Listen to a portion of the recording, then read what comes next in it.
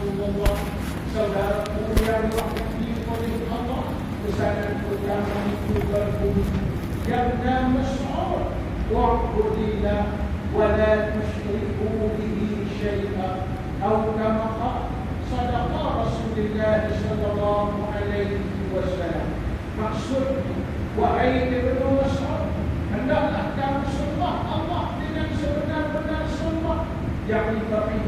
dengan sempurna pada Allah Subhanahu wa ta'ala. Dan yang keduanya janganlah kami mensyirikkan Allah Subhanahu wa ta'ala. Inilah kunci kehebatan seseorang manusia. Satu, dia boleh menyembah dan beribadah kepada Allah dengan sempurna. Bagaimana menyembah dan beribadah kepada Allah dengan sempurna? Yaitu dengan sama-sama dia melakukan ibadah dan taat dengan penuh keikhlasan kepada Allah Subhanahu wa taala. Hatinya bersih sungguh-sungguh daripada sebarang tujuan yang lain selain daripada mengharapkan keredaan dan rahmat Allah Subhanahu wa taala. Inilah yang disebut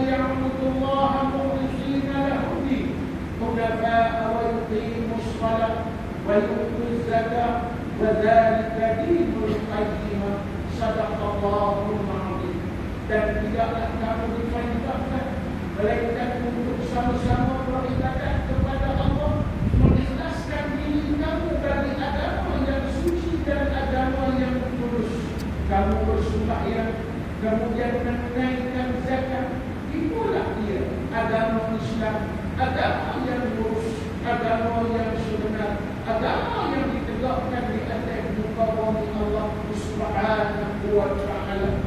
Jadi mimbar ini memberi satu kekuatan kepada saudara yang dirahmati oleh Allah. Pastikan bermula daripada hari ini segala ibadah kita, sembahan أم يقول الله سبحانه وتعالى تثبيتا عديدك بالتصرفا لا فبين ذلك فليس أن يقول الله سبحانه وتعالى يقوة الإيمان رحمه الله.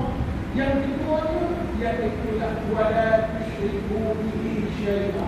كان nak kamu mensyirikkan sesuatu pun dengan Allah Subhanahu wa taala Yakni pada zat, pada sifat, pada perbuatan Dan pada hukum Allah subhanahu wa ta'ala.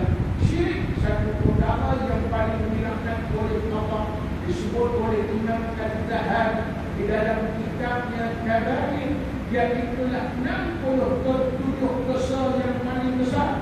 Maka yang pertama sekali tidak syirik pada Allah Subhanahu wa taala. Oleh itu beringatlah dengan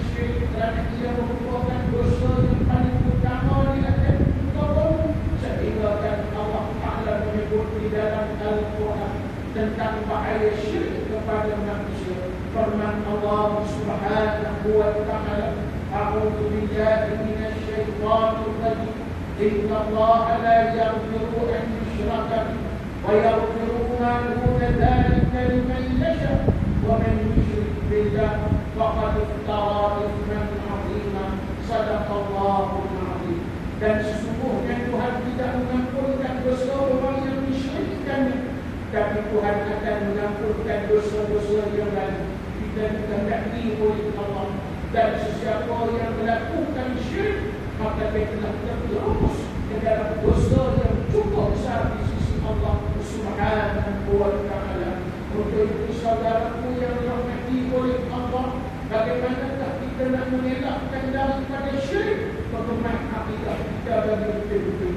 Berhitung sungguh-sungguh iman dan tauhid kita pada Allah Subhanahu wa taala. Jadi jawapannya ialah maka hendaklah kita duduk sungguh-sungguh mengaji ilmu usul mengaji ilmu tauhid supaya iaitulah kita juga daripada segala dosa syirik kepada Allah Subhanahu wa taala. Itulah dia yang disebut oleh Allah yang Mas'ud nasihat yang terbaik, pengajaran yang lebih baik daripada dunia dan segala isinya. Kesimpulannya, pastikan kita termasuk dalam golongan orang yang benar-benar menyembah Allah dan kemudian dia itulah tidak mensyirikkan Allah tidaklah orang yang disebut sebagai dia itulah mukminin muttaqin dan muwahhid dia itulah orang yang beriman orang yang bertakwa dan orang yang benar-benar mentauhidkan Allah. Insyaallah tidaklah orang yang berjaya di dunia dan juga di akhirat. Allah subhanahu wa ta'ala. Allah Ta'ala fil Quran al-Azim أعوذ بالله من الشيطان الرجيم. ولتكن منكم أمة يدعون إلى الغد ويأمرون بالمعروف وينهون عن المنكر وأولئك هم المفلحون. صدق الله العظيم. كلا كذلك لن ينتهوا تكون من أقصر يمسك من يوم أقصر يمسك كبير كبير من يوم يمسك يمسك dan kemudian juga dalam pada melakukan yang mudah mereka itulah orang-orang yang benar-benar berjaya di dunia dan juga di akhirat Allah Subhanahu wa taala. Barakallahu li wa lakum bil qur'an al azim. Wa nafa'ani wa iyyakum bima fihi min al ayat wa dhikr hakim. Wa taqabbal minni wa minkum tilawata innahu huwas samiu أقول قولي هذا وأستغفر الله العظيم لي ولكم ولسائر المسلمين والمسلمات والمؤمنين والمؤمنات فاستغفروا فيا فوز المستغفرين ويا نجاة التائبين. اللهم صل على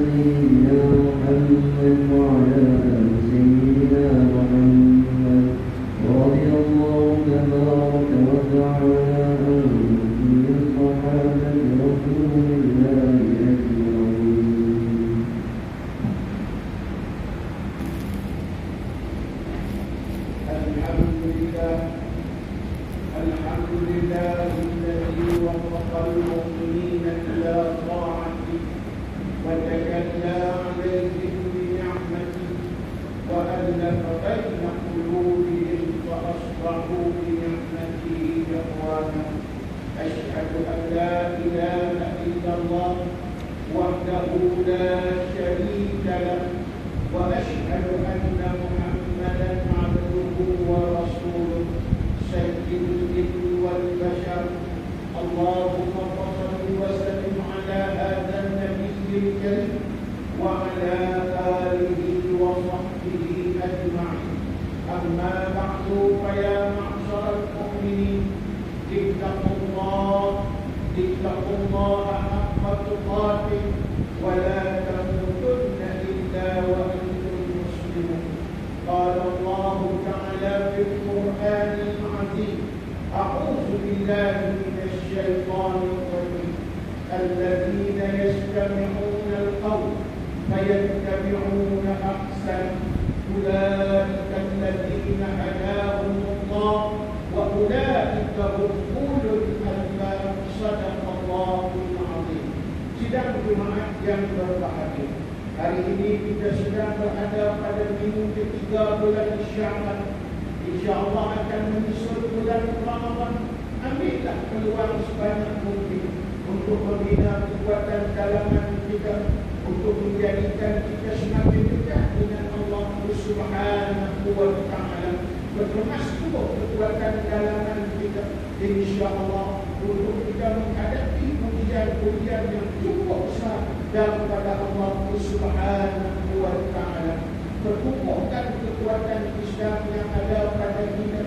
Jadikan diri kita orang yang meneruskan perjuangan Nabi sallallahu alaihi wasallam dan untuk membina kekuatan ini pastikan kita orang yang aqrabul Quran, orang yang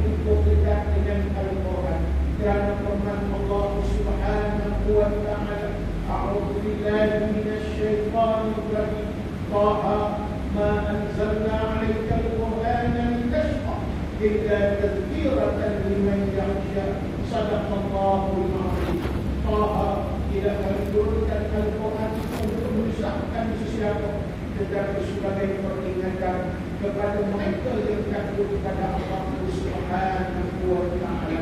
Perkumpulan menjadi belah pokok Islam bersama kita.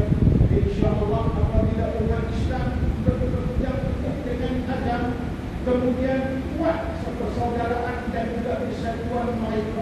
Tidak ada mana-mana pihak yang boleh mengganggu bukan kekuatan umat Islam di atas kepada Allah. Kembalikan kebenaran Islam. Jadikan diri kita orang yang sentiasa menghidupkan sunnah Nabi Sallallahu Alaihi Wasallam.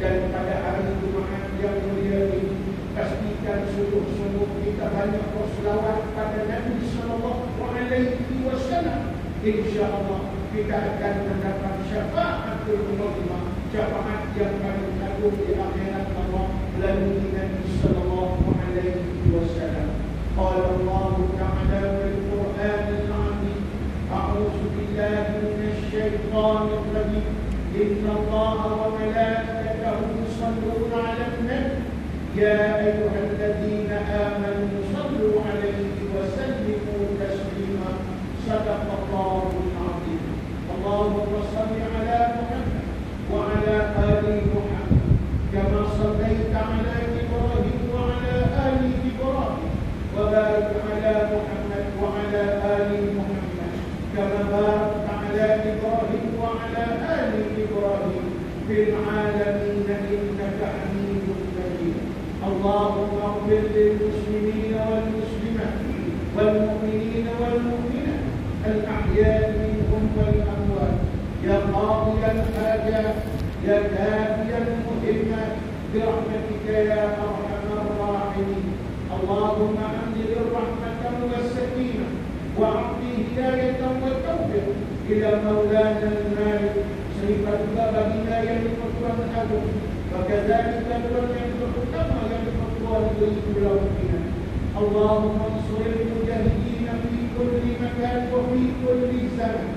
اللهم أعز الإسلام والمسلمين واقتل الكفرة والمبتدعة والمشركين ودمر أعداءك اعداء الدين اللهم شتت شملهم ومزق جمعهم وقلل عددهم. واقتل اللهم السلامة والعافية عليهم وعلى عبيدك الحجاج. والمقيمين في البر والبحر من المسلمين وقنا شر الظالمين. وقنا شر الظالمين. وقنا شر الظالمين. وانصرنا على القوم الكافرين. وانصرنا على القوم المنافقين. وانصرنا على القوم الفاسقين. وانصرنا على القوم الظالمين. واختم لنا يا ربنا فيك بخير يا أرحم الراحمين. وصلى الله وسلم عليه. والحمد لله رب العالمين عباد الله إن الله يأمر بالعدل والإحسان وإيتاء ذي